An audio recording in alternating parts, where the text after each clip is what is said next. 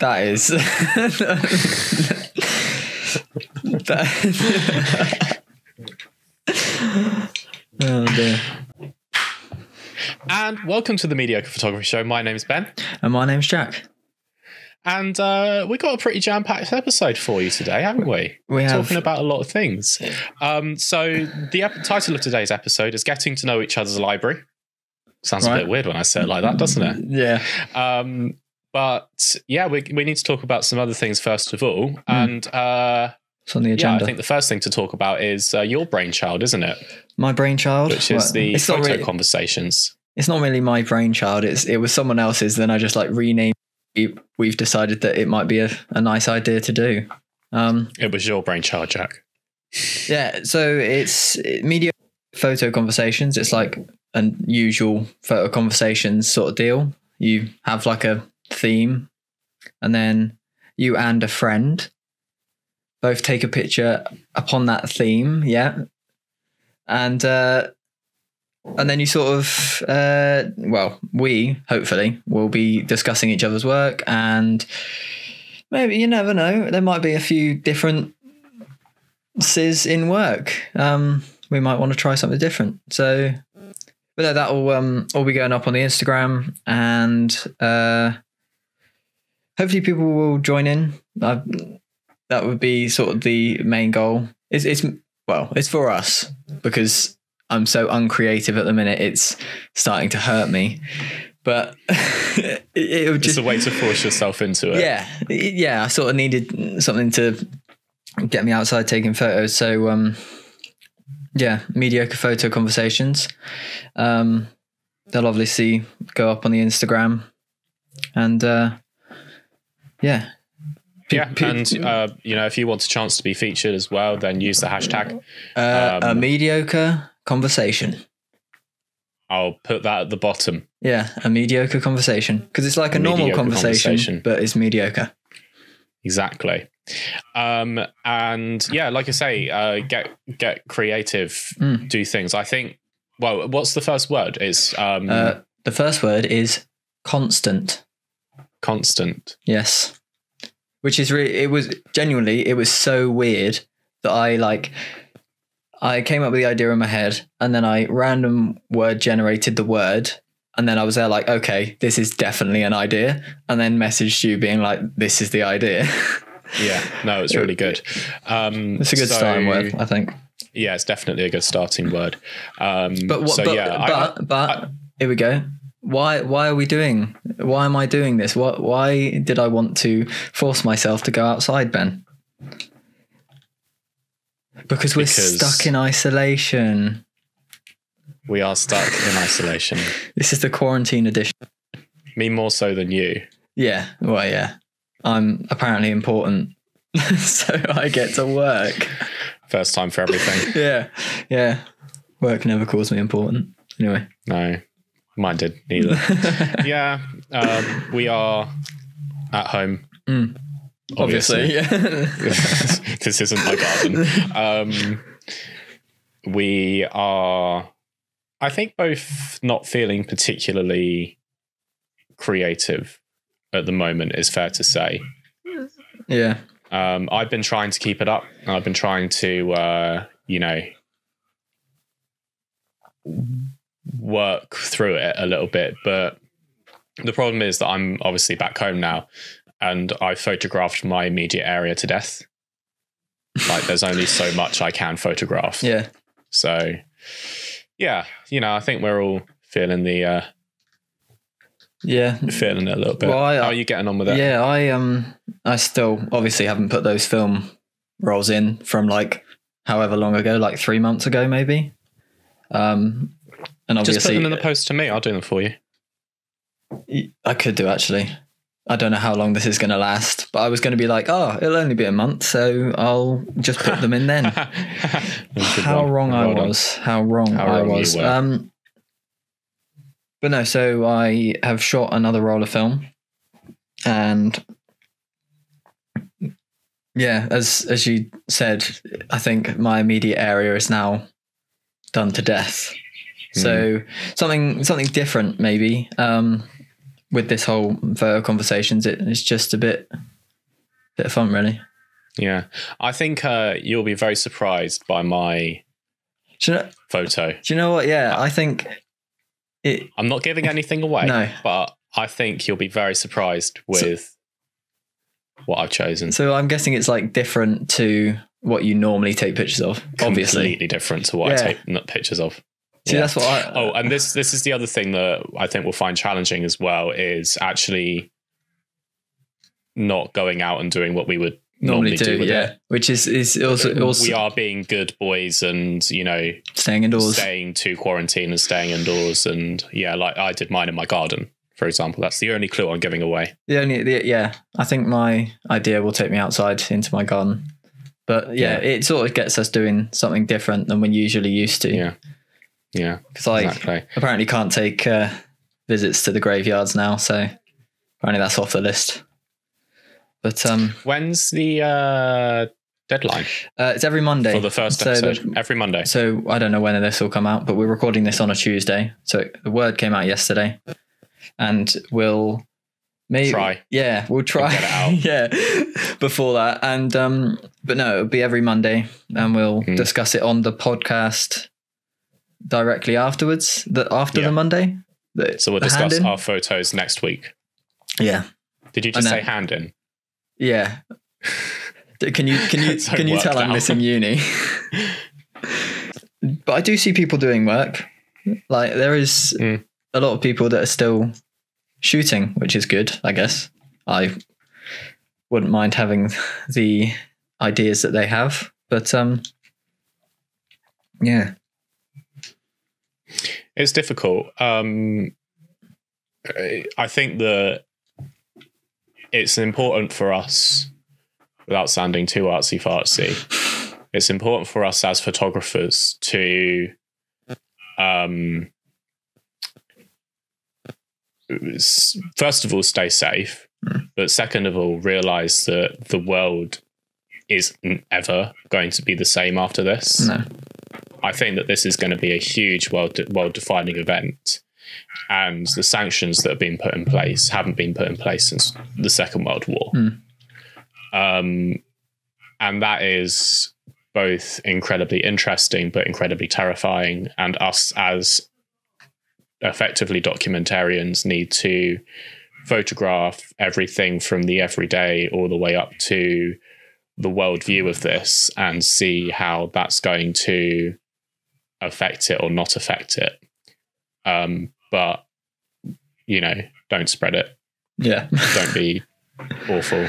How many times have you washed your hands today, Jack? Uh, I washed it before I had lunch. I washed it as soon as I woke it up, so maybe like three or four. Three or four. Into the toilet good. twice.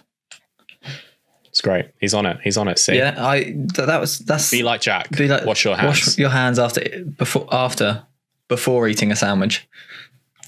And after Oh, and after. It might be sticky. You can do, yeah. But and during. and just Maybe not holding the sandwich might get wet. yeah, my uh, gammon and cheese sandwich. So yeah, we are talking today about our favorite photo books. Um, so we didn't really go into this with too much of a agenda either, did we? We just sort of said, let's do our. Well, I've got five. I've got five. You've got four Mm. of our sort of favorite books that we've ever had. Yeah, And then we've also both got a bit of a wild card at the end. One, I don't know, like that we're embarrassed Well, to have. I'm not embarrassed to have. Just like, why do we have it? It's not anything to do with. Well, that's my book. That's my Okay, sort of that's fine. wild card. That's fine. But um, no, Um, but yeah, so it should be interesting. Um, it's more of a get to know us episode. Yeah, yeah, I think so. And so I kind of I've with my selection, and oh, and by the way, we should say as well that we haven't seen each other's work. No, Like we don't know what we've chosen here. no, but we have a feeling that we know that we've got a I couple mean- of the same. After knowing each other for four years and living each other for one, I think Yeah. we probably have a good idea of each other's tastes. Um, but yeah, so we said that I would start with my first Go one, for it. and with my selection, I've kind of I've gone a little bit chronological with um, how I've chosen this. And I think each book kind of reflects a different part of my photography, if that makes sense. Right, okay. Um, so yeah, we'll see what happens. Uh, so the first one is one that I don't think you ever would have guessed in a million years Right.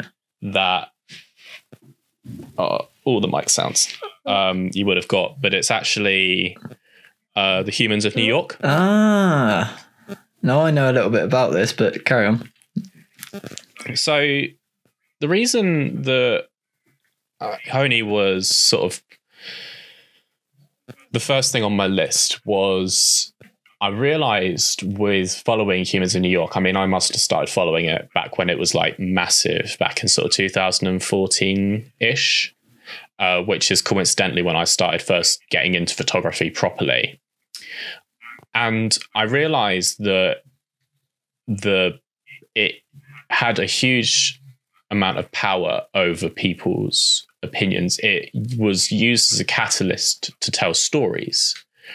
And um, back in my relative naivete of sort of pre coming onto a degree photography then i was like i have so many stories to tell i want to tell other people's stories and so humans of new york absolutely fascinated me um i think it's it was like that catalyst. And i remember sort of the very first project that i did was quite similar to humans of new york where i was doing sort of almost photojournalism of people at train stations. And i would photograph people on train stations and people on trains and like you know um ask them where they're going and what they're doing and stuff like that. And then um in the series i had uh all of the people um, were sort of accompanied with quotations, which was obviously quite a direct link to Very. to uh, Brandon's book. Um, yeah, I think that he's an amazing journalist. I don't think he's an amazing photographer. I think that some of his photos do have worth, um, but yeah, I, I, I absolutely love the book. I think that's one of the things that I would sort of criticize about that. A, it's sort of law of averages, and there are some stories in there that really resonate with me. And there are a couple of stories there that were like actually quite powerful.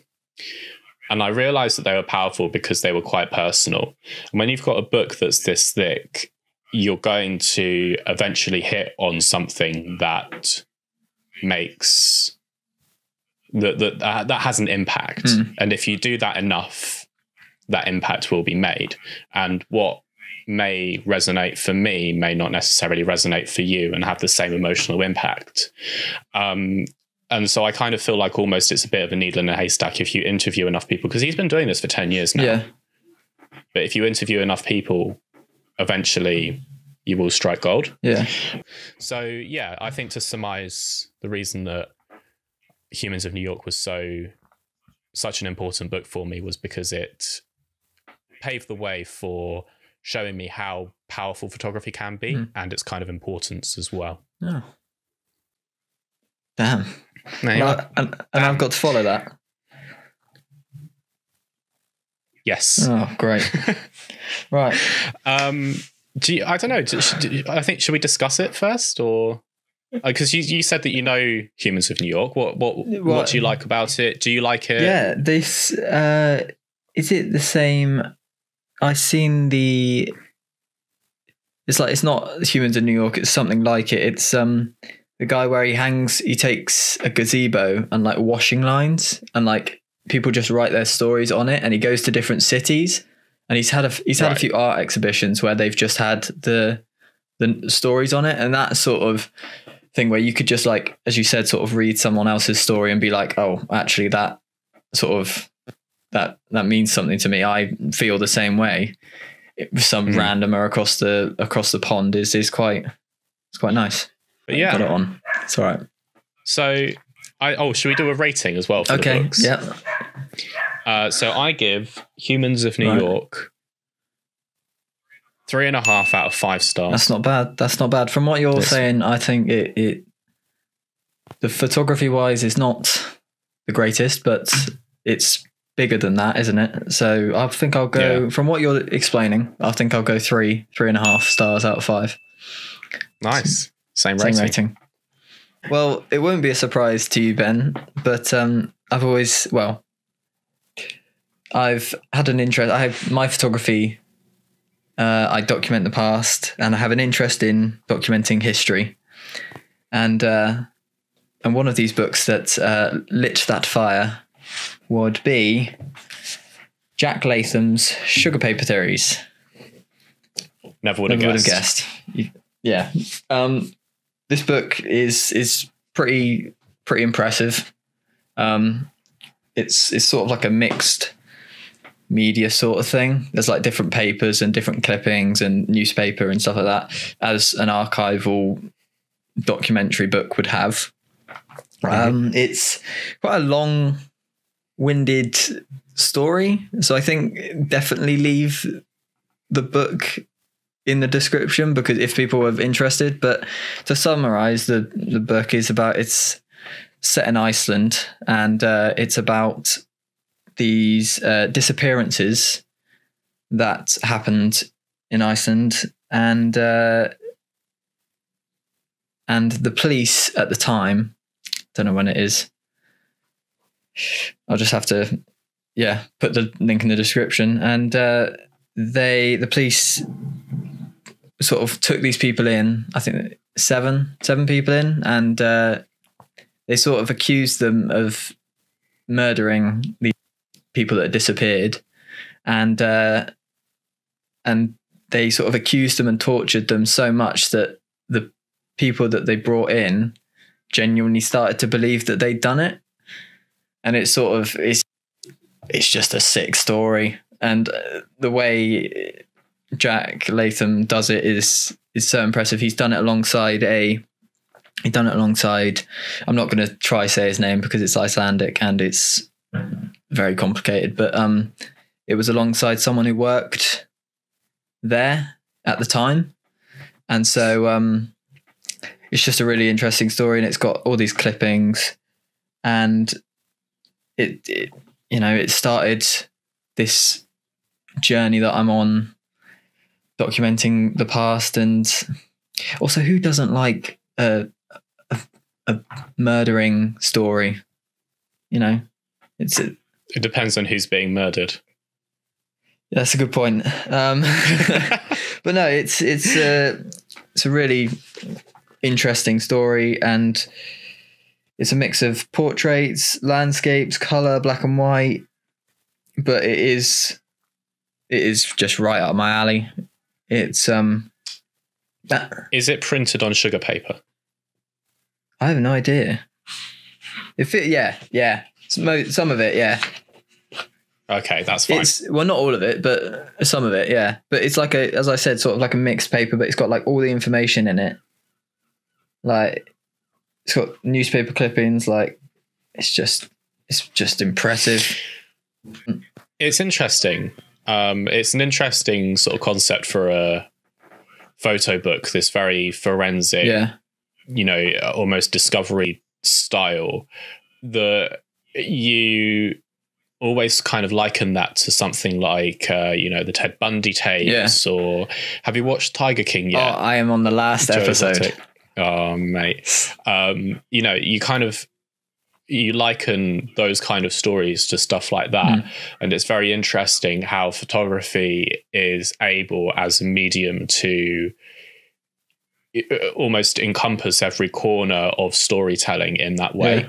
And I think that it is very unique to Latham in that kind of Hmm. sense of nobody well, I can't think of another project that has documented that kind of thing in that way, Yeah, in yeah, that very robust documentarian style, but using still image, not moving image. yeah, yeah.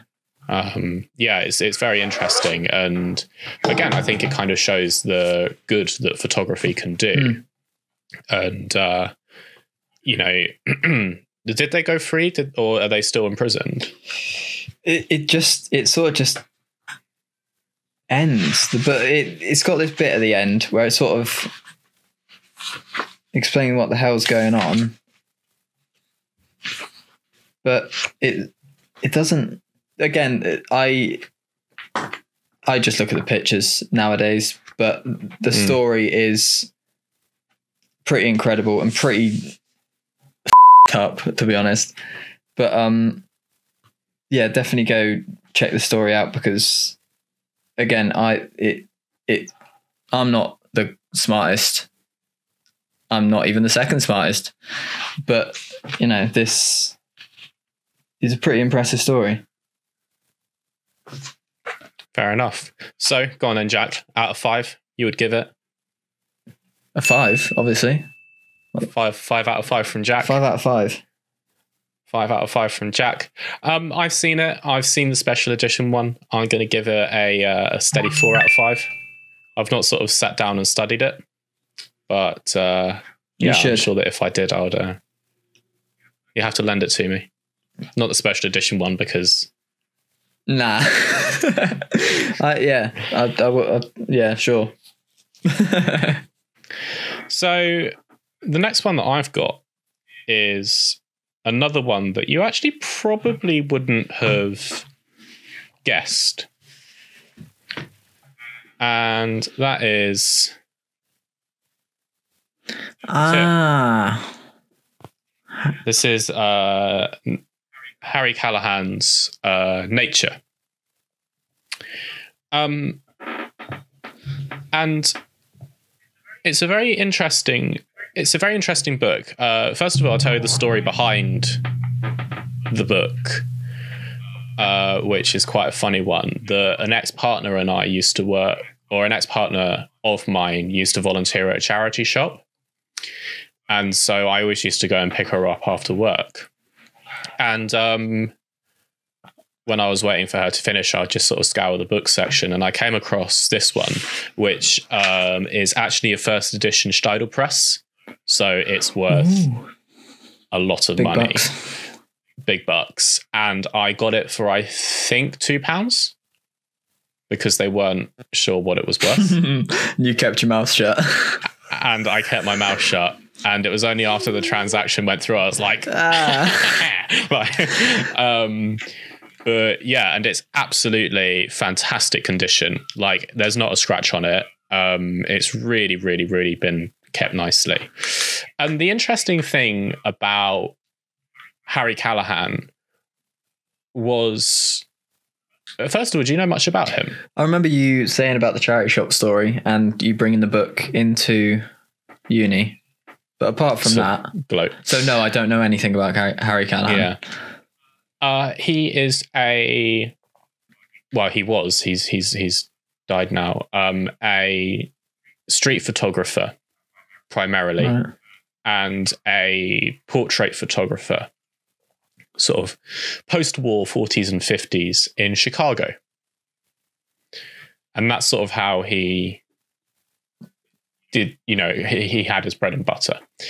And you know, he's a huge, huge photographer. Like there are um, quotes in here from the likes of John Szarkowski, Right. the guy who did. Uh, he's curator of the Museum of Modern Art in New York, Damn. um, and, and a massive photographer, but he's not very well known in the UK. Anyway, um, and the reason that I found this project quite interesting was because this is his nature photography and he was not known for that at all. And as i dug more into it i realized that you didn't have to have kind of one style of photography if that makes Yeah. sense. You can photograph whatever you want to. And for me personally as i mentioned i kind of started off with portraiture and very quickly transitioned into sort of landscapes and from there you know i've stuck with landscape and documentary landscape photography as my main thing. And i think that callahan's sort of work was quite prudent to that change was because it came into my life as you know as a blessing almost. A two pound um, blessing. and a two pound blessing. Um and it sort of made me realize, oh, I can actually do different things. I don't have to be pinned to this one kind of thing. And I still take portraits occasionally. They're not very good, um, but they still get taken um, just because it's kind of something that I enjoy, uh, sort of chatting to people. But he's he was a very eclectic photographer. And his practice was very famous. He was very famous for just going out and taking photos. He didn't have an agenda. He didn't have a motif other than I'm going to go out, see where the wind takes me, and go from there. Um, what What do you think about kind of the idea of um, because you're I was going to say something quite mean there. Go for it. I can take it. You're quite. I was going to say you're a bit of a one trick pony. yeah, yeah, nah.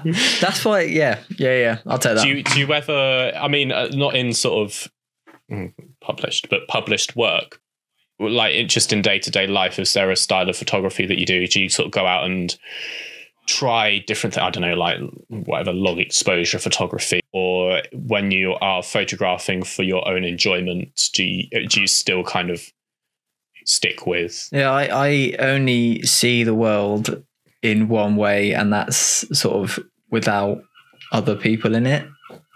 You know, so I like when I went out to shoot that other roll of film, I sort of didn't. I get the idea, and I I would I think that's to be able to be a an established street photographer, and then just go to all of a sudden just switch to nature like that, and then still have the same sort of impression, then you know it's that's impressive, and that that is talent. Whereas one trick pony. no, I think it's um, and I think you're right. I think yeah, I I I need to see the photos. I'll give it a Google after this if I see if I can find any images. But um, it seems you've you, you like it, so I'm going to give it a uh, an average three, three point five. Nice. Same again. Yeah, because That'll be easy for me to edit in. Yep. I'm going to give it a four because that's what I gave the other Okay. one. right. Next one. Go on. You're not going to believe it. It's another documentary history book. Hooray. This is uh, from photographer Leo Delafontaine, uh, and it's called. Bear with me on this one as well. Arktikugol. Arktikugol. Oh, Arktikugol. and um, yeah, this is again a uh, a documentary like a, a archival documentary project, which is based in. Again, with the names, you'll have to di- bear with me because most of this is in Russian. Um, Cool. it's on right. Okay, so it's like north of Scandinavia. There was a an island or a bit of Arctic Circle. Yeah, that was called Yeah. Svalbard. Sval. Svalbard. Yeah. And um, so pretty much it was a uh, a very important coal mine um, to the sort of to Russia. It was a um, one of their coal mines out there, and um, and pretty much it, it it's sort of fallen off. It's not. It got um, everything sort of got abandoned after. You're gonna have to bear with me. Was it by any chance the Svalbard Act of 1925? That was the one where they pretty much just like they like like shut it down. Well, not shut it down, but they sort of just. I think they wanted to make it some military sort of military base. Or just to go into what Jack was saying a little bit more, Svalbard was actually uh, quite a strategic area of importance for both Norwegians and That the it. Russians um, because it's quite a contested area in that Norwegians, Norway is very pro NATO and they allow um, uh, a lot of war games to be held uh, in Svalbard, which is very close to the Russian border. So it's often been quite contested. Both countries want to lay claim for this. Um, Norway, it is Norwegian territory. It's recognized as Norwegian territory, but Russia doesn't kind of see that. And um, like I say, it's it's kind of a gateway in from Russian's northern fleet into the rest of Europe. So that's the reason that it's quite contested. you sort of see the sort of Soviet era. It's sort of all there still, and pretty much what Leo Della Tanya Tane Leo Delafontaine does is um, he pretty much just goes around documenting it. And um, again, it's an absolutely beautiful book, and uh, and he documents like the mines and sort of try to re revamp it for tourism purposes, uh, which sort of failed, and you know, and so there's that as well. And he sort of documents it really. It's quite eerie, but there's obviously still people there that live there. But at the back, Yeah. which was the main reason I was interested in this book, is they've got like a load of archival images from back in its heyday. So the fact, Ah, now it starts to make sense. yeah. the old pictures. Um, and so, you know, the fact that they had like a sports arena for the workers there and they used to have like Yeah. sports teams play and they used to have a basketball team and they had like Olympians go out there and stuff like that. And um and so that all interested me. But then so I sort of when I was getting this book, I sort of saw the back of it and went, "Oh my god, old pictures, amazing!" And then I sort of read the story and went, "Oh, actually, this is actually quite an interesting story about some forgotten land that was really quite important in you know the 30s, 40s, etc." But um, yeah, yeah, I really like the book. I've ne- I'd never heard of Leo Delafontaine, but um, it's quite a it's a really nice book, and it's really like like the size of it gets me every time. Like it's it's slightly smaller than A4, which I think is is just really nice and it's really well made and yeah, I don't and the annoy I think uh, don't quote me on this, but I think that he doesn't do stuff like that anymore. He's sort of turned more to experimental, which is all good. People, you know, can do what they want. It's a free world. Harry Exactly. did. Um, but I really liked that, and uh, as I said, it's you know it's the first I'd ever heard of him, and um, yeah, it's a it's a really really nice book. I can imagine it's very atmospheric work. Yeah, yeah, you got quite big landscapes. They sort of um, differ between one picture per page to like they have it. He sometimes does like a double bleed. Um, Yeah. but some of the images are pretty stunning. But as you said, it's it's a complete, you know, it's ghost town. But um, Yeah. it was mainly the the history that sort of excited me, and the fact that it's um sort of forgotten about Mm. is uh Mm. yeah really interesting. So um, I'm I'm gonna out, of five. Well. It's a beautiful book, beautiful series, beautiful project. Um, I'm going to give it a five. a five Oh, out of five. Wow. God, amazing. You can see where this is going. uh, I can definitely see where this is going. And uh, yeah, I think it's a really interesting part of the world. Um, Scandinavia has always been somewhere that's just fascinated me for a very long time. So uh, I'm also, just for that reason, going to give it uh, five out of Oh. five. well, Leo, you did good, buddy. Well Well done, Leo. Cool.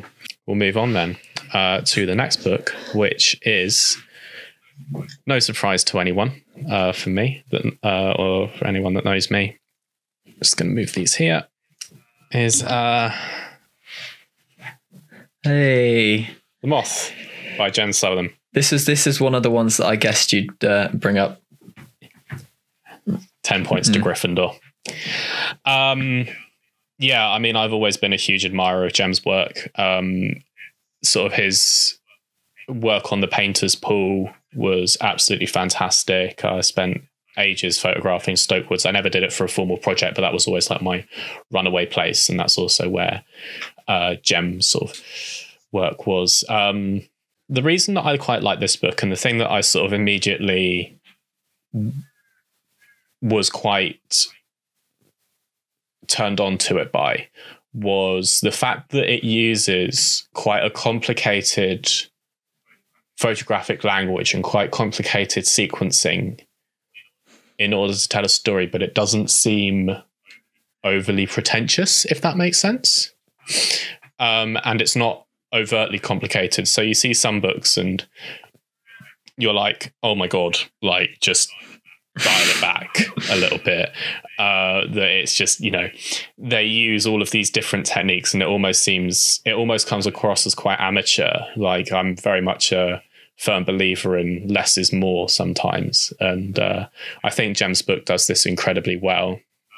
Um, it's very different to a lot of the other projects that he's done. Uh, again, Jem Southam, for those that know him, is a very, very pictorial landscape photographer, whereas this work is a lot more uh, dialed back again to sort of not to use the word too much, but it's very fragile photos. They're very intimate. They're very close. Um, the other thing that I quite like about the book as well is that it explores the notion of sort of death and dying in a way that isn't morbid. It looks at it with a certain fragility, which I think is quite lost in a lot of projects. And um, I remember looking through, and again, there's nothing wrong with the work, but I remember looking through uh, In Sickness and Health by Colin Gray and just thinking, okay, like this is this is good work, but it's just depressing. And I don't think that death necessarily has to be that. And this is a very complicated look at somebody who you know, I'm sure he won't mind me saying it, is coming to the end of his life. At least his career, ready. His, his, photographic career, I reckon. Yeah. Well, it's what, 75 now? Like he's he's Still an young. old boy. Still young. Still, Still kicking. kicking.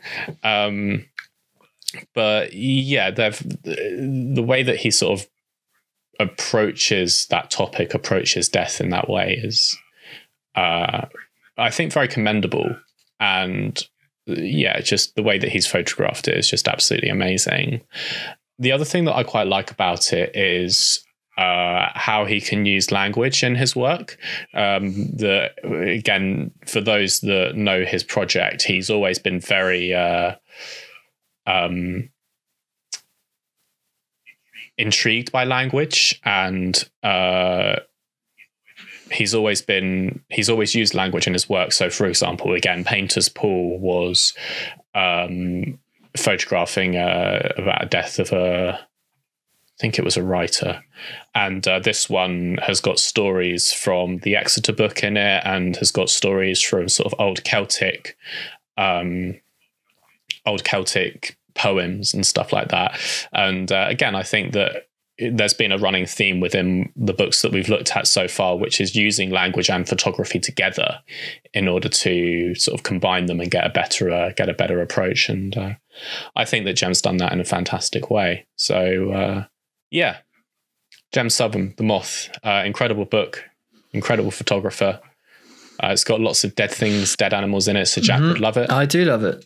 I do. Um, I remember you. Um, well, I borrowed it because I because yeah when you mentioned that it was sort of about it had sort of it was about death and uh, but it did it in a way that wasn't so morbid i sort of well i looked through yeah. it first and went this is not about death like just looking at the pictures i was there like there's no but then sort of looking through it again and again with the like sequencing and stuff like that it it sort of yeah he he does tell it very well. And mm. um, no, I, I do, I do like it. And I'm not a la- I'm not a landscape it's, photographer, but well, it's not really landscape. It's very documentary. For, for, yeah, for Jem. I mean, there are landscape work. There In is it, landscape yeah. work in there, but uh, it's a lot more sort of documentary than No, I do like it. I do like it a lot. work normally is. I also like. Well, I specifically like the um, the pirate pictures, not the pirate pictures, but the.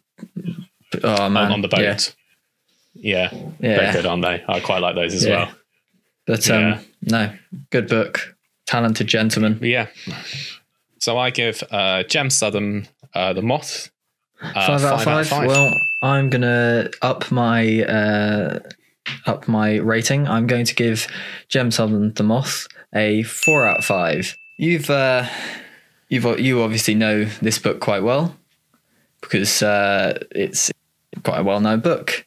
But um, this book, uh, I'm just gonna make you feel awful now. This book means a lot to me. And uh, it was the first ever photo book that I ever bought because I got told to buy it. But uh, you obviously know it because you've already on it. But um, it's in sickness and in health. so genuinely, when you said it, I was just there like, ah, shit. The thing is, do you know the reason why I used in sickness and in health and not um, like anything by Nigel Shafran or anything like that? Why? Was because I knew that this would be on your it. list. Okay, okay. For people who don't know this book, this should be one of the first photo books you ever buy. I think. If you, as a photographer, don't shake your head. Don't do it. If you if you come into uni at first year and you want to do photo books, this is a photo book to buy.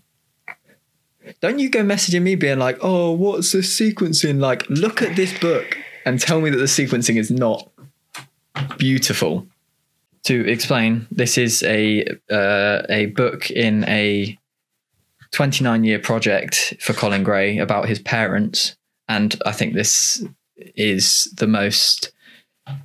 This is sort of the. It's a very different to the other projects. Uh, well, the other. I don't know what to because it's a big project, but like the other two or the other couple are very different to this. You get what I mean? So those bits Hmm. of the project are not as emotional as this bit because obviously this is, as you can tell by the title, the the end of the project.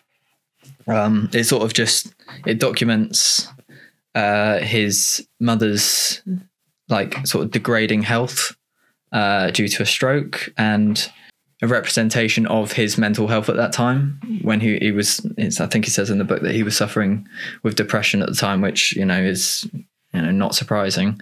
But um the photos that do it for me are the uh, pictures of his dad. I think though uh, they are just stunning. And I've even written it down that it says it just says it's got the bit about the mum him and then it just says dad's photos stunning. And so it, it's um yeah and his dad's photos of uh, his sort of new role as like a carer and um sort of when he does get to go out you know what he gets up to. But um the uh yeah as i've already said the sequencing is just top notch. Like if you ever well i always look for it whenever i was struggling with like sequences throughout the three years at uni i, I genuinely just looked at that book because it is there's so you can tell that so much thought has gone into the sequencing. It is unbelievable. As, as you said it's a very morbid and depressing project but in comparison to the other two in the parents it's completely different. Like it's you know good good. But um Yeah. yeah no it, it, it is a real you sort of feel like you're there. It's so in their family like i don't think anybody should be you know involving us in that sort of story but yeah it's it's just a really But Huh? you do. You do. yeah and i guess uh, You involve. people in, in my family stories and i guess that's sort of maybe why I, I connect with the book so much is that it sort of it tells me that you know letting people into your life and all of this stuff even into the depressing moments is sort of all right because it, it makes for a beautiful project. Well, beautiful, beautifully depressing project. But um, no, it is it is absolutely stunning, and I've I've got I cannot say a bad word about it. Mm. But um, apparently you can. So No, no, no. I didn't say that it was a No. bad book. I said that the book is it's it's very less complicated. less. Compl- oh right, yeah, yeah, yeah. I get you. It's it's it's very no, it's the very book literal, isn't it? it Yeah. it's very literal in its in its, in its book. What are you doing, Siri? I'm helping people wash their hands for the recommended amount of time. Just say, hey Siri, set a timer for 20 seconds. What? The robots are taking over, Did Jack. I even? Okay, so my timer hasn't stopped. That's okay. We're leaving that in. That'll be a. That's uh, fine. All right. We'll Anyway, leave that in. We'll it's leave very that it's a very literal book. Yeah. Um. So, out of five. Well, I don't want to uh, change anything, so it's a five out of five for me. It's a It's a five, out of five. Yeah, I'll Yeah. give it a five out of five as well. You you you Yeah. better. Um, the next book, Jack, that I've got is uh, one that I discussed on last week's, last month's episode of the podcast, uh, which was, uh, of course, Astres Noirs Yes. by Katrin Koenning and Sarker Protick. And the reason that I very much enjoyed this book was because it pushes the boundaries of photography in a very important way to me. Uh, it's very abstract, but it's not surrealist. Uh, again, the photos are very delicate. The way the book is put together is absolutely fantastic. Like when you, I, I, with a lot of photo books, I look through them and I'll be going through the pages and going through the pages and. The first time I go through the book, you're like, "Oh wow, these is absolutely amazing! Like it's it's a joy to to see." And uh, you go through it another time, and you're like, "Eh, okay, that's fine. And the more that you go through that book, that rewatchability, as it were, stifles and it sort of slows down. Every single time I go through Astres Noirs, I'm like, oh my god, this is just the best book that's ever been made in the history of ever. Uh, I feel like I, with all of the other ones, I was discussing like, oh yeah, you know, the I, the photos and like what they what it, I know I'm just nerding out about this book because it's just Do absolutely. you know the weird thing is that you, you haven't Um, actually said anything about the book. You've just literally gone, haven't "Oh, I love I've this book. I love this this now. book. I love this book." um what is there to say about it it's the reason that i haven't said anything about it is because it's again there's not a huge amount written on the book.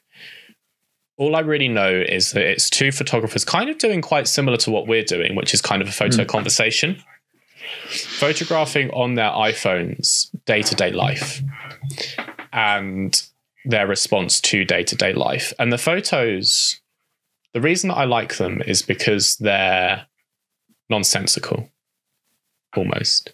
That you'll have a photograph of the moon, a photograph of a horse, a photograph or a, a portrait of, of, of, of a girl, a silhouette of somebody falling. They don't have a logical, almost thematic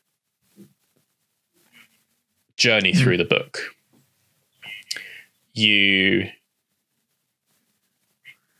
the reason that it's amazing is that every single page you are greeted by not a photograph but a work of art. And it's i don't know. Another way to describe it is you, you have curves with photo books and it's quite a deliberate thing that you have you have good books or good photos and like you know the peak ones. And then you kind of give the audience a rest and you're like okay yeah we'll sort of you know lower down to an average photo. And then we have another mm. peak and then you have a big trough and then you have like the big you know the big grand finale at the end. But it's like with this book it's just constant. yeah. every single page is up there. So i give Astres Noirs six Wow. out of five stars. I can't believe I'm doing this, but I'm giving go on. your book a five out of five, but we were discussing off camera that we think this is and we're going to look like book. absolute jokers if it's and not. we're going to look like absolute jokers if it's not. Um, but the book that we've both chosen oh god, I'm actually scared to do this to now. be our last one. Wait, I it- think it's it gonna be different. You I chose did choose Dan Wood, didn't you? right, right. Talk about Dan. Go on. If Should I I say more about the yeah, book? keep going. Um, Talk about it. It's a Say big more book, about the book. and it's beautifully published by another place. And um, and as I said, it's sort of this. Uh, it's Dan revisiting. Uh, Keep I can't keep going. I need the toilet now. Um, it's sort of Dan revisiting. Why have I not seen that before? Oh. Um, he's revisiting this road, or he's drive redriving this road, and uh, capturing sort of what's around. And he's he- again, as I sort of said with your uh, Koenning and you, sort of there's like no real similarity. This this book is much what I want to do and he's done it Yeah. in such a way. The photos are amazing, and the uh, yeah, it's it's just exactly what I want to do, and that's why I got the book, and that's why it's in my top five, four, top four, and um, yeah, I just love the book so damn much. You get the uh, the story like right off the bat. Um, it's sort of it shows you a map of or not like a drawing of the road and uh this is in wales so it's all very picturesque and valleys. That was a really bad accent but anyway um It really was. but it's sort of yeah as i've said it's it's sort of what i would like to do. It's about memory and nostalgia and and family obviously with the history of him driving it with his mum but yeah and again it's so big that i keep looking through it and i miss things or i go back to things and think oh i didn't i didn't see that before that's actually really cool and then i completely yeah it's just it's just a brilliant book Five out of five. Five out of five. five out of five right on with Five on with your book you set me up set me up to fail. On fail with mine. unbelievable My book. if you didn't guess already if I didn't guess already, is uh, The Moor by Rob Darch. And I didn't, one thing that I sort of didn't realize that I mentioned when I was gushing about Koenning and Protick was I sort of, I likened everything else to where I was with my photography. And uh, I sort of, I didn't ever go through with it, but in third year, I was kind of toying with the notion of working a little bit more within the abstract and you know switching up my visual language and not going kind of full surrealism but uh looking at how i could focus in more on intimate details which i think i did pull quite a lot of inspiration from that book. Um but it never kind of came into fruition for whatever reasons. I still stuck with what I knew. Uh, but the Moor is definitely more towards where I am currently with my sort of own photographic styles. Uh, first of all, it is on. Well, it's uh, linked to the greatest location in the entire world, which is uh, Dartmoor, um, a place where I've spent many, many hours, many, many far too long hours. Um, and the book is a designed to be a dystopian uh, sort of look at uh, the future. And it's not kind of like, you know, people wearing tinfoil boots and laser blasters and stuff like that. It's done a lot more sensitive sensitive than uh, it, it, sorry it's it's a lot more sensitive than than that but you can tell that there are sort of lonely estranged people which uh, is linked very closely by the narrative of Dartmoor and of that park. Um, the Dartmoor lends itself perfectly to that kind of thing. Um, you've got very interesting sequence of uh, sequences within that and the one thing that I quite like about the book, the, in the way that it's sequenced, is that it's almost like there are small stories happening. Uh, you know, it's almost like in a sitcom, you've got the A plot and the B plot per episode. Uh, and you kind of see that, and then the whole book itself is the entire series of the show, which is quite uh, quite a nice touch. Everything else is very linear in its fluidity, whereas uh, the Moor is very much like you follow this story, then you follow that story, then you follow this story. Um, the other thing that I very much like about the book, and sort of knowing a little bit about what Rob is all about, is it's a very current story that we have that he's telling, and it's, uh, in his opinion, just over the horizon. Uh, obviously, the war came out before everything that's happening with COVID nineteen and uh, and all the rest of that. But you know, it's almost how it seems, and it's something that as soon as we went into isolation, I actually went back to and looked through because I immediately I thought isolation this kind of book, you know, uh, with with what Rob's doing. Great guy. So I give it five out of five. Five out of five. Um, Let's do our, you know, yeah, very quickly. A little, a little bit of fun. Wild cards. Um, go. No, so you go I've ahead. The, keep going. Keep going. I'm. You're building uh, up the uh, suspense, man. I've got an old book. You know, the classic. Um, I don't know when it was. This was published, but it just looks old with a tenner, which is a massive surprise. But this book, that I don't know why it's on my shelf, it's amongst absolute greats like Gap in the Hedge and stuff like that. It is How to Photograph Babies and Children. now, don't I? I do not know how this book has got on my shelf. Um, I don't know where oh, I don't know where it's come from. Um, it is a, a weird ass book. I'll say that. um, I've only just looked through it to be honest. Um, but it's just it's just weird, man. Um, yeah, I think it it pictures to last a lifetime. but um, Pictures to last. I would give this book a, a definite no no out of five. It's uh, and and if you want it, we'll, we'll leave a link. And I don't think they publish this anymore, but um, probably not. Sure, probably not. We'll leave it in the description. Um, go on then. Your your book. Well, oh no. Similarly, um, my book I have no idea where it came from. I don't remember ever buying it.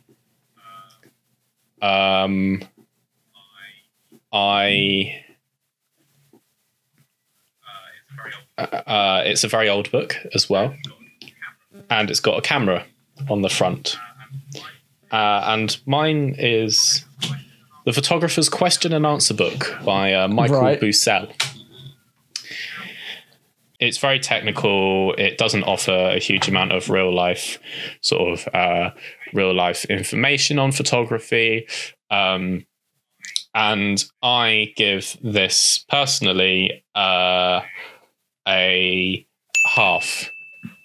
We do have a couple more little bits and pieces to do we sign off with. Oh, we do on my list. Um, Jack and I have made a pledge to each other and now to you, the audience. Don't be involved. That we are going to be uploading oh, right. more regularly. Yeah. we'll give it a go. we do. Um, I just a a schedule go. might be nice. It might be something that improves the the quality because it's just still a technical absolute mess because my camera battery has just run out of charge and so it's it's just all gone to pot. But yeah there's definitely i think this this quarantine situation is sort of i think we need to get together is what i'm saying. Yes. So without further ado, follow me on Instagram at uh, Ben Uh, follow the show at the mediocre photo and follow me at jack henderson photo. Um, If you liked it, subscribe. yes there will be more If you really liked it, and then like it, subscribe. And then Um, subscribe. we again we need a better sign off